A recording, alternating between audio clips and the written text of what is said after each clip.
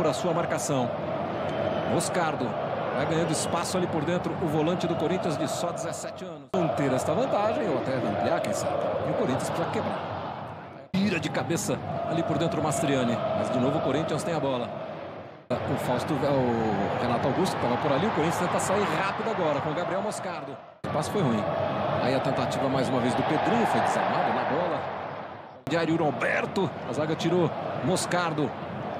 Curto ali com o Roger Guedes. Corinthians fica com a bola. O árbitro deu uma bola ao chão ali, né? Volta de novo no Moscardo. Cabe até o tiro. Vem a batida. A bola passa. Ponta esquerda, encaindo no Moscardo. Foi bem demais. Olha só o Moscardo. Que isso? Tirou limpo, limpo. Roger, Moscardo.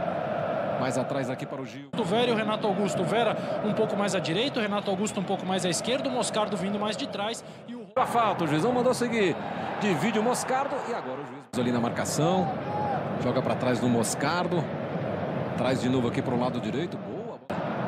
No Rojas, a zaga tirou. O Moscardo briga por ali. Renato Augusto. Área tira de cabeça o Maidana. Insistiu o Moscardo. De novo Roger Guedes. Trouxe para o pé direito. Abate. Empurrar a bola para a lateral.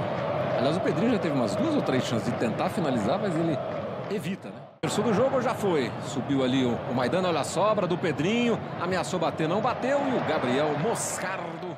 Eric tenta sair. Aí o Martinez. Dividiu ali o Moscardo. O Bandeira está dizendo que o lateral é Consegue dominar, consegue proteger. Gabriel Moscardo, lindo lance para o Yuri. Renato Augusto passa. Moscardo, cabe o tiro, vem a batida. Moscardo. Essa imagem vai ser boa para você ver a, a, distância que a bola passa em relação ao gol, né? Repare aí, ó. Ela passa muito perto. O campo vai tentando trazer por dentro agora. Chegou Gabriel Moscardo, cortou. Pedrinho mesmo para o contra-ataque. Que velocidade. Opa! Moscardo fez aquela jogada para matar o lance. Cartão amarelo. E o América no segundo tempo praticamente não conseguiu jogar, né? Tá, não conseguiu atacar, não conseguiu chegar lá na frente, vai. Olha a bola longa lá para o Will Alberto do lado direito, ele chega a cruzar.